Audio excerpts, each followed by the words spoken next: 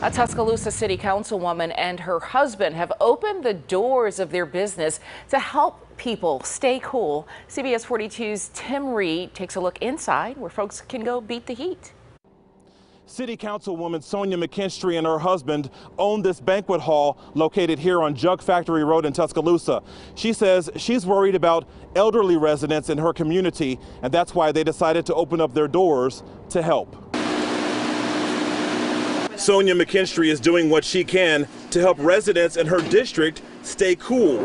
Her banquet hall has been open this week to give folks a temporary cooling station. There is plenty of seating and tables where people can be comfortable, and free bottles of water will be provided. And there are fans inside the building that is cooled by air conditioning. We just wanted to open up our doors and try to be a blessing um, to those individuals that were unfortunate or or that just um, didn't have the, the means to, to cool their homes off or um, just looking for a better way to keep cool. McKinstry tells us she's planning to keep the building open to the public until Friday night. In Tuscaloosa, Tim Reed, CBS 42 News, local coverage you can count on.